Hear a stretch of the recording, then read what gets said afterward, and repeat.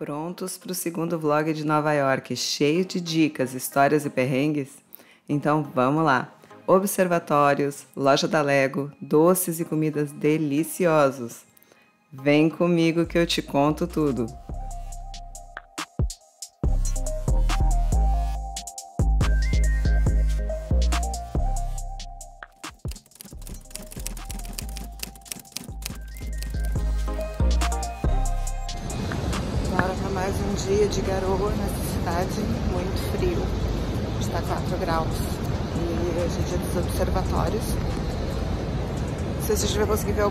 Coisa, porque está super fechado.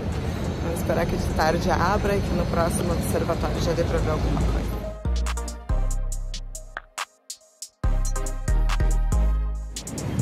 O Rio Plaza Manhattan ele é bem localizado a gente fica saindo de um lado, já dá na escadaria vermelha da, da Broadway, da Times Square.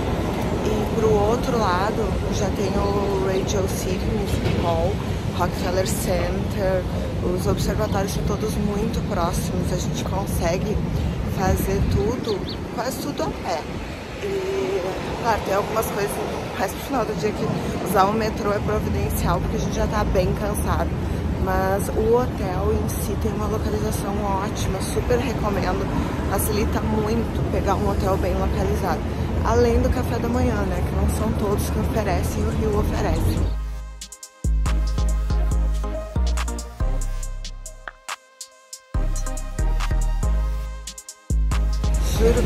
Pra vocês que eu achava que a gente ia chegar e ia encontrar, tipo, no mesmo nível a pista de patinação do Rockefeller Center, mas não, gente, ó. É um buraquinho. A gente chega, vem vindo e ela é lá embaixo. Curti, maneiro.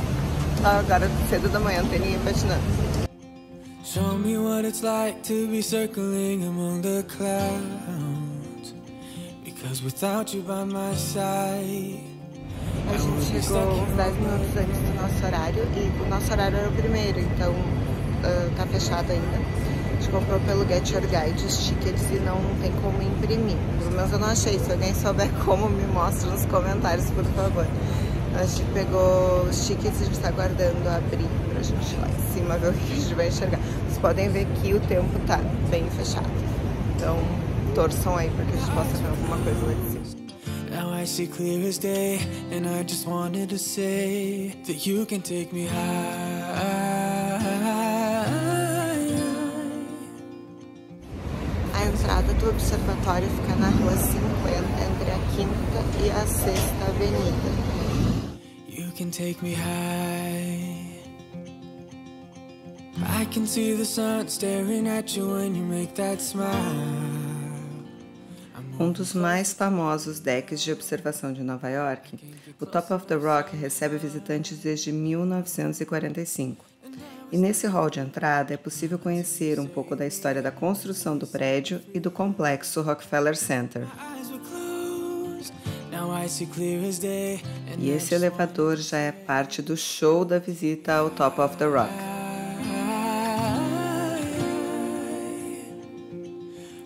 Tour começa no andar 67 e vai até o andar 70, que é acessível por escadas.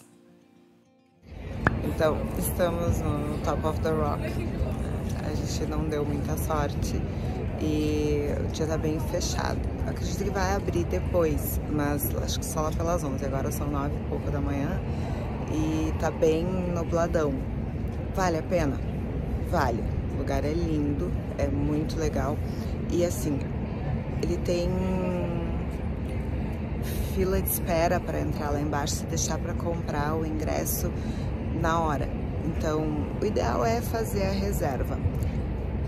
Mas tem esse risco, né? A gente fez a reserva bem antes e hum, chegou no dia tá nublado. Se a gente não tivesse feito a reserva, talvez a gente pudesse ter esperado um dia que estivesse bom para vir aos, aos observatórios. Então são riscos que a gente assume que faz parte de toda a viagem, né? E que a gente tem que ter margem para lidar. nossa escolha de vir ao Top of the Rock era poder ter uma vista do Empire State Building e fazer as fotos com o Empire State Building ao fundo. É porque subir no Empire State Building deve ser muito legal, uma outra experiência. Porém, a gente não veria, não teria o prédio nas fotos. E o Chrysler Building também. Então a gente optou por vir nesse para que esses outros prédios aparecessem, porque o Rockefeller ele é bem quadradão e tal, ele é bonito, mas ele é bem quadrado. Os outros têm umas formas mais legais, são mais né, icônicos, então a gente optou por vir aqui para isso. E aí agora com toda essa neblina a gente não vai conseguir fazer essas fotos, então vai ficar para uma próxima. Acho que é Nova York nos convidando para voltar logo.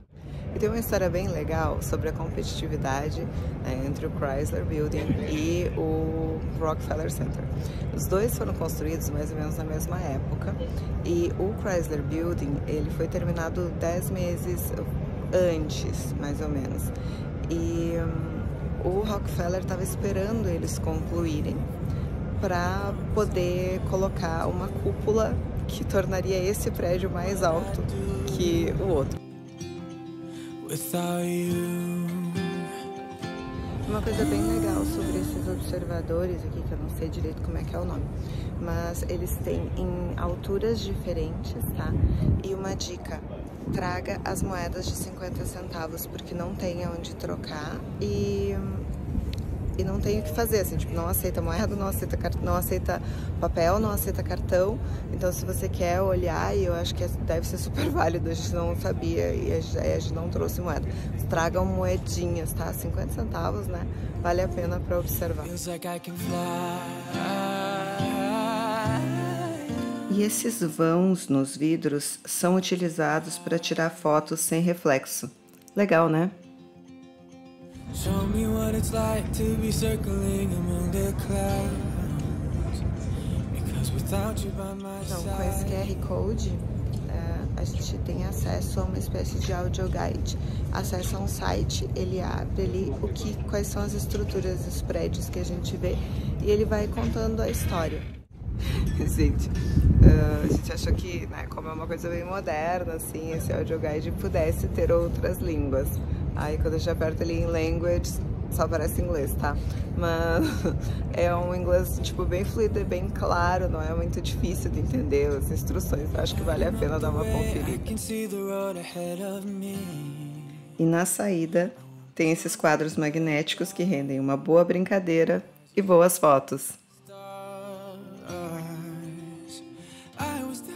Depois que a gente passa por aquele elevador maneiro, a gente vem sai direto numa loja de souvenir, né? E aqui embaixo tem uma espécie de uma galeria, onde tem café, tem algumas lojas e tal. Então, é uma experiência bem legal, vale a pena. Uh, desejo para todo mundo que vier sorte, porque tem bastante sol, eu faço fotos muito legais.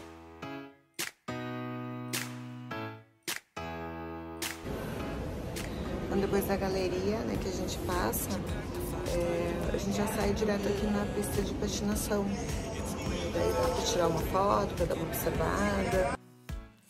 Já que o nosso passeio no Top of the Rock não foi o sucesso esperado, bora comer um docinho para compensar?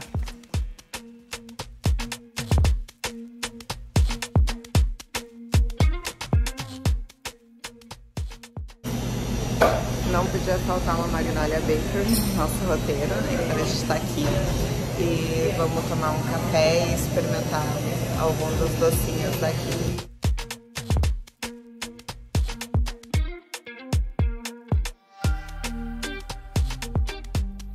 Finalmente vamos provar Magnolia Bakery.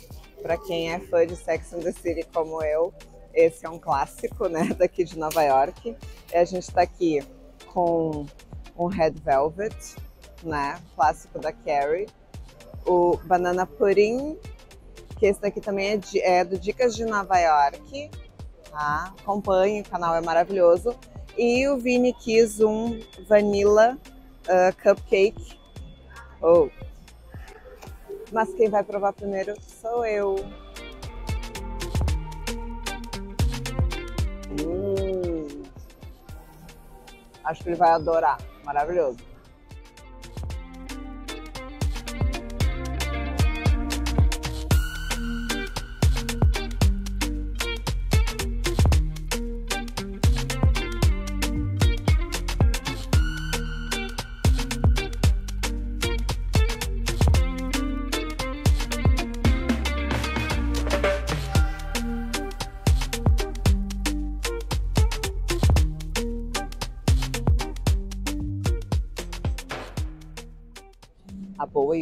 Aqui, né? Eu peguei os negócios mais para provar e para mostrar no vídeo, porque a gente tinha tomado café não fazia muito tempo e eu não nem estava com fome. Adivinha quem não conseguiu parar de comer o banana puri?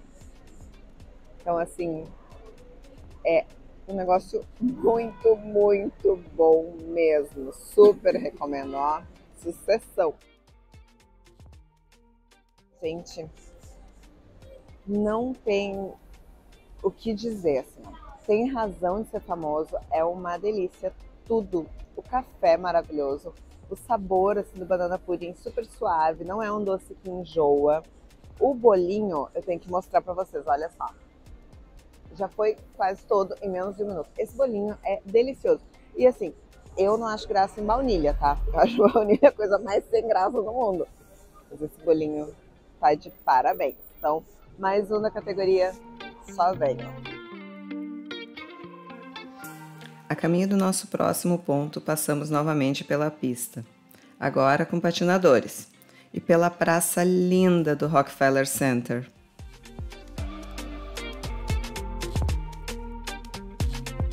Bora conhecer essa catedral lindíssima em estilo neogótico de 1879, que fica na Quinta Avenida e faz um belo contraste com os prédios modernos ao redor.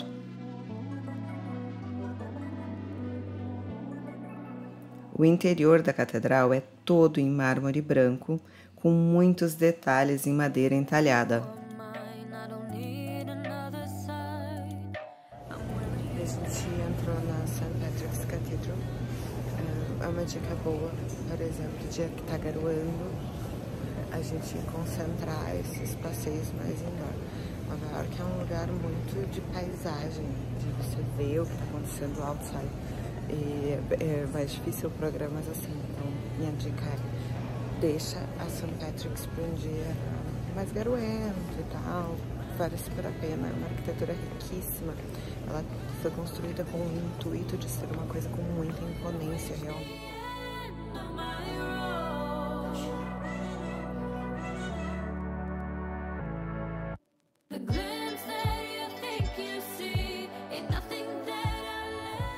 Entrada na St. Patrick's é franca, não precisa pagar nada, mas se você quiser acender uma velinha, vai ter uns spots com a vela, custa 2 dólares, é a ajuda que eles sugerem, e aí você pode acender e deixar ali. É, é um passeio bem legal e dependendo do horário você ainda pode pegar a missa, que foi o caso.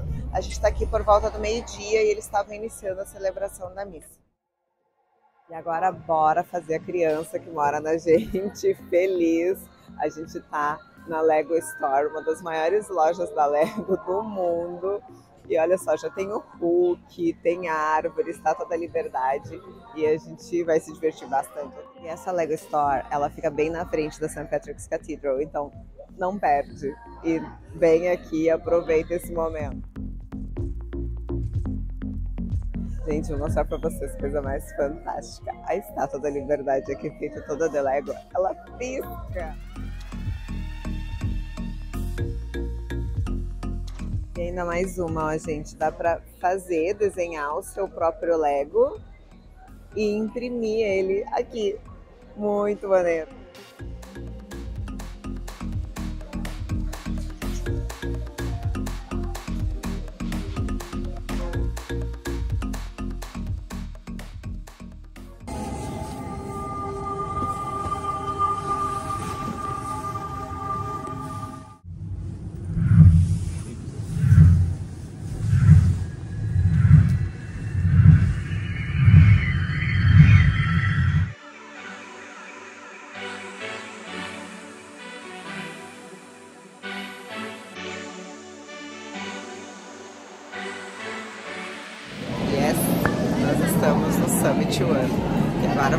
Viver essa experiência, porque realmente aqui é um negócio de viver, de sentir. O Summit One fica no topo do quarto edifício mais alto de Nova York e foi projetado para ser uma experiência imersiva com vistas incríveis, como essas do Rio Hudson e do Chrysler Building. Essa instalação é assinada pela Yaoi Kusama, que recentemente fez aquela collab impactante com a Louis Vuitton. Aqui com certeza foi o meu lugar preferido. O espaço Affinity foi muito mágico.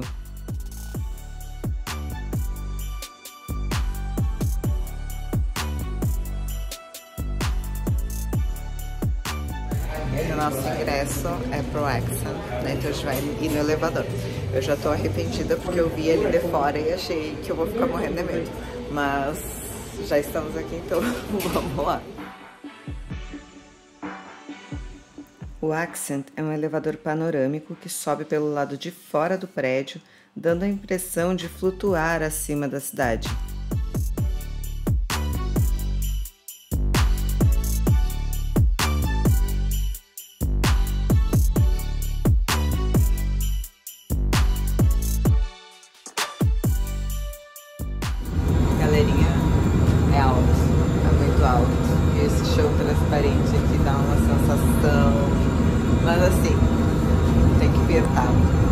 Parte faz parte do esquema. Saindo do elevador em direção à cafeteria, tem esse espaço todo aberto também. A gente terminou a nossa visita ao Summit One e realmente é uma experiência sensorial. Não tem como tu entrar lá e não se envolver com aquilo. As vistas são maravilhosas, é, os lugares para tirar foto, as sensações, é, é mágico. E eu recomendo sim ir no elevador. Eu tenho medo, mas é o que completa a experiência, realmente. Assim, tu estar lá, o negócio meio que flutuando, é muito legal. Então, Gente, se joguem. Summit é muito bom. Sabe uma coisa muito legal? É que do Summit você já entra direto na Grand Central Station, que também é uma atração turística daqui, né? Então a gente desceu lá e viemos direto. A gente vai almoçar aqui e agora vamos conhecer os lugares que eu tava mais ansiosa para conhecer, porque eu amo o filme Amizade Colorida, que eles fazem um flash mob aqui, terminam o filme maravilhoso. Então, tipo, o coração assim tá. tô toda arrepiada, né, de que eu vou conhecer esse lugar agora pessoalmente. Essa é uma das maiores estações ferroviárias do mundo. Todos os dias passam por aqui 255 mil pessoas.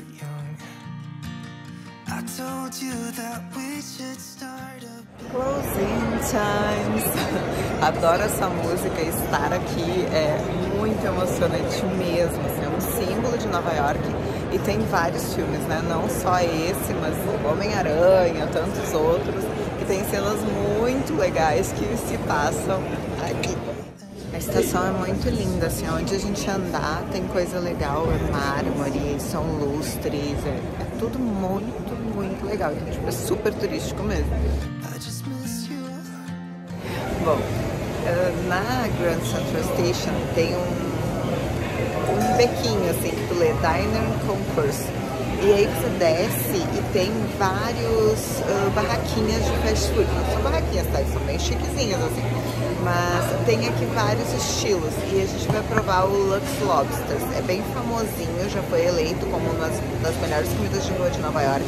A gente vai pedir o trio para experimentar e contar para vocês se vale. Porque assim, não é muito barato. Uma comida de rua, é o preço mais elevado. Mas é lagosta, caranguejo, camarão, né? Então, Vamos experimentar e vamos ver qual é. Aí está o trio de rolls, meio de camarão, meio de lagosta e meio de caranguejo, mais a bebida e um saquinho de batata por 22 dólares e 50. A hora da verdade, vamos experimentar. Começando pelo de caranguejo, bem recheado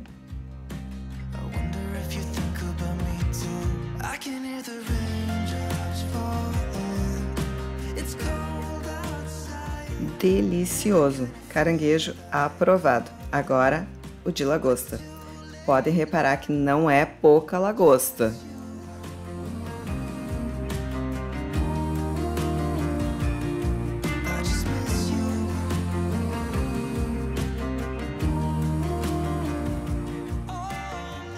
super aprovado também. Camarãozinho, também lotado de camarão e muito gostoso.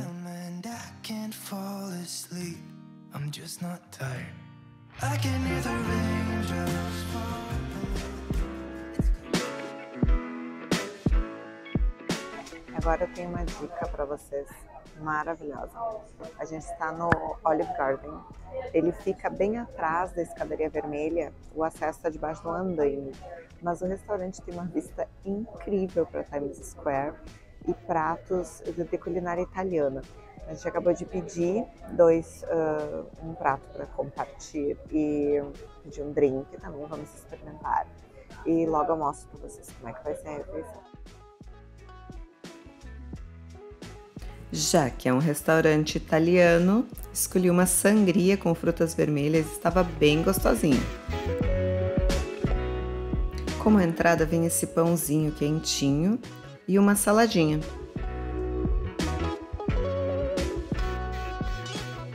Vini e eu dividimos um macarrão alfredo com frango e o Ian pediu uma massa com camarão. A qualidade da massa excelente.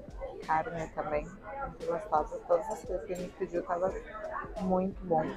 Então, assim, recomendamos. Ainda mais se estiver hospedado na Times Square ou próximo, é um lugar bem aconchegante para comer e para ficar olhando a Times Square. Bem legal. Mas depois do jantar tem que ter uma sobremesa, né? Viemos esse paraíso dos donuts na Broadway. Para acompanhar as rosquinhas, eles têm umas bebidinhas também.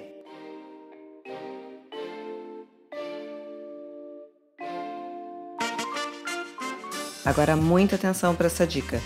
Esse donut é vendido somente nessa loja. A gente está aqui na Crisp and Cream e eu comprei essa belezura, tá? E estão querendo me lograr, vou entregar. Ó, o Homer não pode ver, ele já tá comendo. E o outro Homer esperando. Tá? Que vai pegar a rosquinha rosa. Tinha que ser a rosa, né, gente? Então bora experimentar o Spring Cream. Sem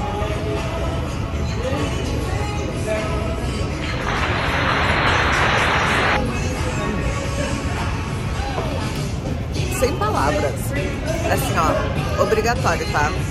A gente não foi na Dunkin' Donuts agora, eu já fui na Dunkin' Donuts na Alemanha, mas a Krispy Kreme é surreal.